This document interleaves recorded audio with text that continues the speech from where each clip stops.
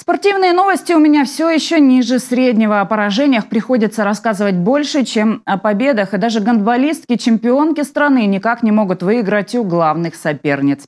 Всем привет, это Ростов Спортивный. И итоги спортивной недели подведу с вами я, Марина Черных.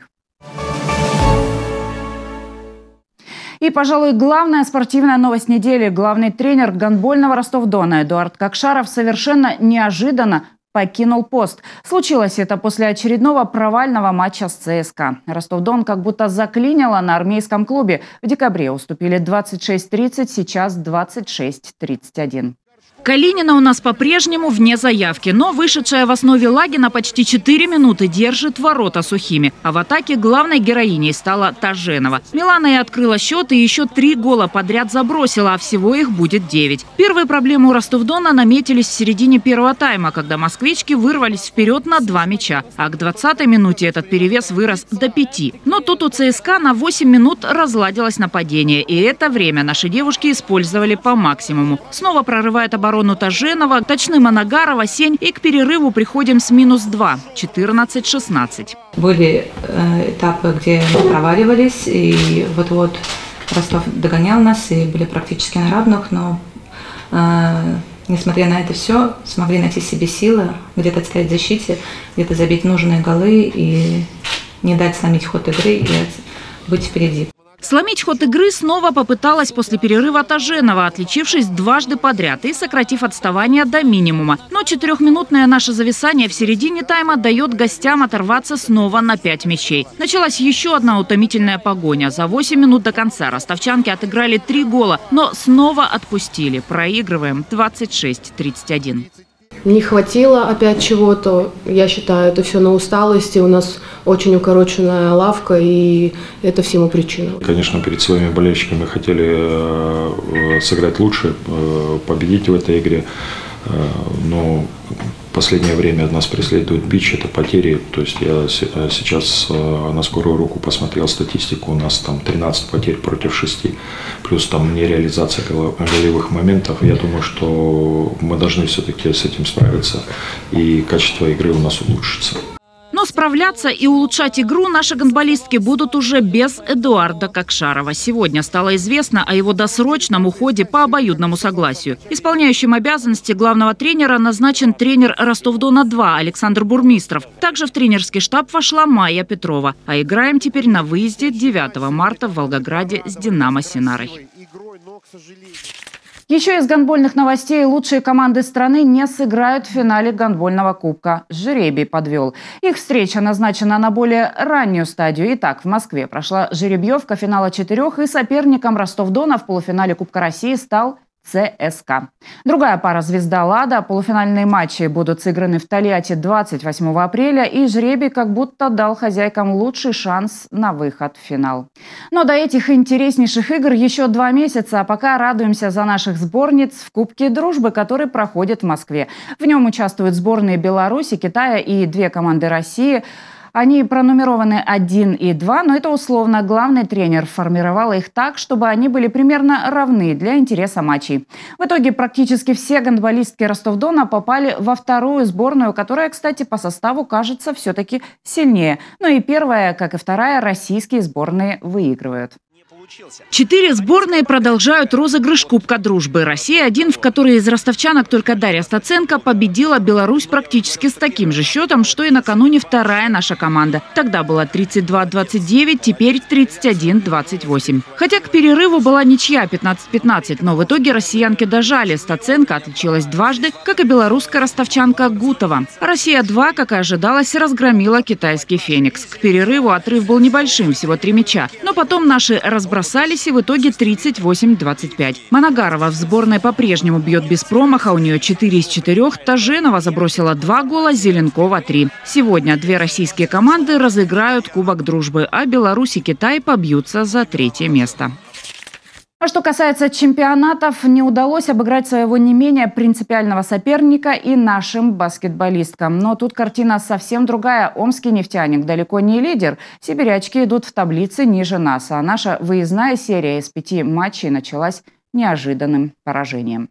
Состав у Пересвета ЮФО и без того усеченный, а тут еще не смогла выйти на площадку лидер. Вероника Павлюченко получила травму в самой концовке победной игры против Ники. Яковлевой по той же причине даже в заявке не было, а Дашкевич и Шевченко отыграли всего по 10 минут, так что игра держалась на пятерке игроков. Первая четверть прошла на равных. За минуту до конца отрезка табло показывало 15-15. И лишь штрафные вывели Амичек вперед. А после перерыва мы не попадаем 3 минуты и даем хозяйкам плюс 8 форы. А сами набираем очки лишь штрафными. С игры мяч упорно не летит в корзину. Отставание растет. К большому перерыву имеем минус 9, 27, 36. Эта четверть и стала в итоге решающей. Вторую половину встречи команды провели ровно. В третьей четверти уступаем 16-17, в последней 14-15. Как итог поражения 57-68. Лучшими по результативности в нашем составе стали Осипова и Масько. У них по 13 очков.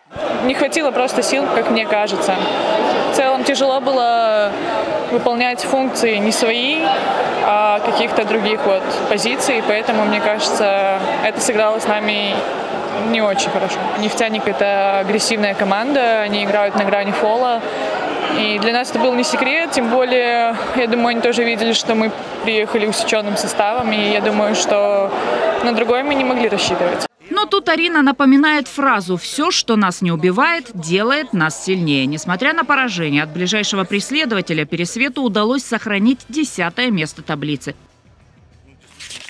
Проиграли мы и в Москве главному аутсайдеру, столичному «Динамо», который вообще на последней 12-й строке таблицы, еще ниже нас и «Нефтяника». Уступили 64-67. А к матчу уже с другим «Динамо» в Новосибирске дела у Пересвета и ФУ стали еще хуже. И без того малочисленный состав лишился еще одного игрока, во многом определявшего игру команды в этом сезоне. К травмированной Павлюченко после игры в Москве добавилась Масько, которая ушла с площадки с повреждением ноги в начале последней четверти матча с «Динамо». И вот уже «Динамо» Новосибирская. И в составе всего шесть ростовчанок. Ротации никакой. Какого можно ждать результата? К середине первой четверти у нас минус 9. Защита хозяек практически не подпускает наших к кольцу. За две с половиной минуты до перерыва уже минус 11. Но пара точных дальних бросков Михайлова и Отдащик останавливает падение падения, а последний двухочковый Дашкевич сокращает отставание до минус 6. Четверть заканчиваем 19-25.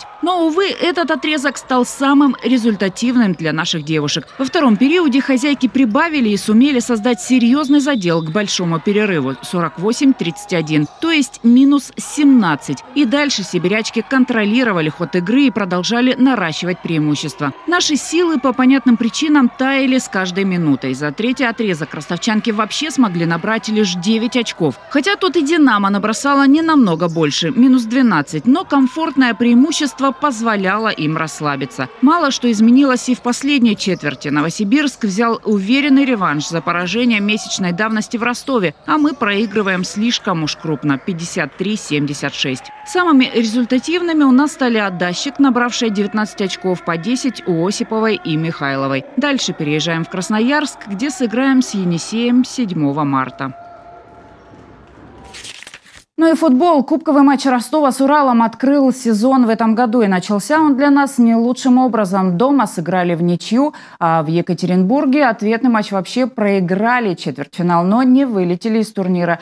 Таковы замысловатые правила Кубка России в этом сезоне. Просто с пути РПЛ наш клуб переместился на путь регионов. Первый матч, напомню, завершился в ничью 1-1. В ответ нам Урал забил в середине первого тайма нелепый гол. Там явно был навес в штрафную, но мяча так никто и не коснулся, и он заскакал в ворота мимо зазевавшегося Писякова. После перерыва дважды был близок к голу Селява, но его удар в девятку вытянул вратарь, а потом мяч прошел выше перекладины. Ростов отыгрался за 10 минут до конца, Камличенко сбили в штрафной и Осипенко забил пенальти. Но тут же случилась еще одна нелепость. От затылка соперника соперника мяч попал в руку Ланговича. И этот 11-метровый решил все вопросы. Проигрываем 1-2. Валерий Карпин охарактеризовал игру жестко. Это не футбол. Бей, беги, окружай ворота, и игра придет. Били и грузились физически. Но про футбол речи не было. Но, в принципе, еще ничего не потеряно. Ростов из турнира не вылетел, а переместился с пути РПЛ на путь регионов. Следующий соперник жребий определит позже и выберет его из команд абсолютно разного уровня. От Акрона до Зенита.